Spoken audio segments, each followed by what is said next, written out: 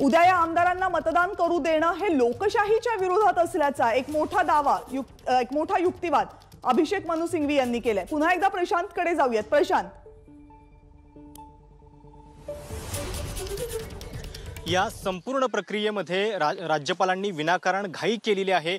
हे अभिषेक म्हणून सिंघवी सांगण्याचा प्रयत्न करतायत. त्यांनी युक्तिवाद करताना असंही म्हटलं की राज्यपालांनी असं विशेष अधिवेशन बोलावताना मंत्रिमंडळाच्या सल्ल्यानं तो निर्णय घ्यायचा असतो. पण इथं विरोधी पक्षनेत्यांच्या सल्ल्यानं ही सगळी घाई केल्याचं दिसतं आहे. हे त्यांचं वाक्य या युक्तिवादामधलं आहे. याच्याशिवाय एक अजून एक महत्त्वाचा मुद्दा त्यांनी आपल्या सुनावणीमध्ये मांडलेला आहे.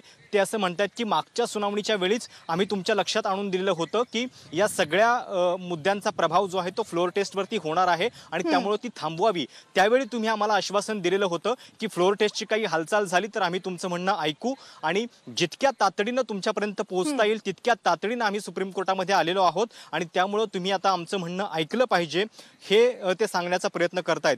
याच्याशिवाय सगळ्यात महत्त्वाचा मुद्दा त्यांनी उपस्थित केलेला आहे की पक्षांतर बंदी कायदा घटनेचं जे टेन्थ शेड्यूल आहे दहावं कलम आहे परिशिष्ट आहे त्या परिशिष्टामध्ये ज्या गोष्टी नमूद केलेल्या आहेत की कुठल्या कुठल्या गोष्टीमुळे त्या सदस्यावरती क- कारवाई होऊ शकते तर त्याच्यामध्ये म्हणजे स्वच्छनं त्यानं त्या पक्षाचं सदस्यत्व सोडणं हे तर आहेच पण. सोबतच एक राज्यपालांकडे जाऊन आपल्या पक्षाच्या निर्णयाविरोधात अल्पमत आहे हे सांगण्याचा प्रयत्न करणं करणं ही बाब सुद्धा त्याच्यामध्ये आहे हे सांगण्याचा प्रयत्न या ठिकाणी अभिषेक मनु सिंघवी करतायत म्हणजे एक प्रकारे जी विधानं शिंदे गटाकडनं केली जात होती किंवा सुप्रीम कोर्टातल्या याचिकेमध्ये सुद्धा म्हटलेलं होतं की या संपूर्ण सरकारला आमचा पाठिंबा नाहीये ही आता एक सर्वमान्य बाब आहे तर त्याचा उल्लेख या ठिकाणी अभिषेक मनु सिंघवी करतायत की अपात्रतेची कारवाई पक्षांतर बंदी कायद्यांतर्गत जी जी जी काही कारणं आहेत त्याच्यामध्ये हे पण कारण सम समाविष्ट होतं असलं पाहिजे की पक्षाच्या निर्णयाविरोधात तुम्ही एखाद्या सरकारचा पाठिंबा जो आहे तो काढताय आणि गव्हर्नरपर्यंत ती गोष्ट घेऊन जाताय